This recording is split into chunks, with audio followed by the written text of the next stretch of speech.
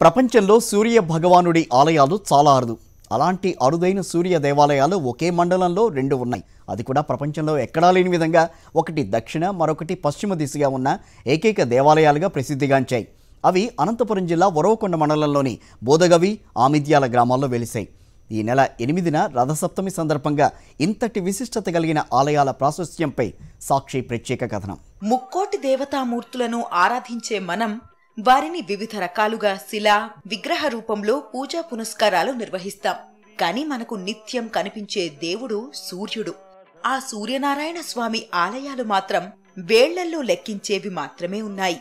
భారతదేశంలో సుప్రసిద్ధ సూర్య దేవాలయం ఒడిషా రాష్ట్రం కోణార్క్లోని సూర్య దేవాలయం అయితే రాష్ట్రంలో మాత్రం అరసవెల్లిలోని సూర్య దేవాలయం ప్రసిద్ధిగాంచింది. వీటితో పాటు అనంతపురం జిల్లాలో కూడా రెండు సూర్య దేవాలయాలు ఉన్న విషయం చాలా తక్కువ మందికే తెలుసు. ఉరవకొండ మండలం బూదగవిలోని సూర్య దేవాలయం పదమూడవ శతాబ్దంలో చోళరాజులు నిర్మించారు. ఈ ఆలయం రాష్ట్రంలో ప్రసిద్ధి చెందిన సూర్య దేవాలయాలలో రెండవది. దేశం మొత్తం మీద మూడవదిగా దక్షిణాభిముఖంగా వెలిసిన ఏకైక ఆలయంగా చరిత్రకారులు చెబుతారు.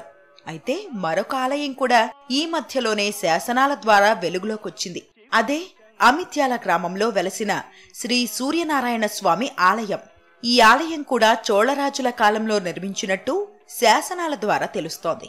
సూర్య దేవాలయాలు ఈ ప్రపంచంలో ఎన్నో ఉన్నప్పటికీ కూడా భారతదేశంలో ఆంధ్రప్రదేశ్ రాష్ట్రంలో అనంతపురం జిల్లాలో ఉరవకొండ మండలంలో రెండు ప్రసిద్ధ సూర్య దేవాలయాలు ఉండడం మన దేశానికే గర్వకారణమని చెప్పొచ్చు. చోళరాజుల కాలం నాటి పురాతన దేవాలయం. దాదాపు ఎనిమిది వందల సంవత్సరాల క్రితం నాటి పురాతన దేవాలయం. ఇక్కడ సూర్య భగవానుడు దక్షిణముఖంగా ఉండడము ప్రపంచంలోనే ఏకైక దేవాలయం అన్నమాట. ఇటువంటి అరుదైన సూర్య దేవాలయాల్లో రథసప్తమి సందర్భంగా స్వామివారి దర్శనం కోసం ఆలయ నిర్వాహకులు ప్రత్యేక ఏర్పాట్లు చేస్తున్నారు.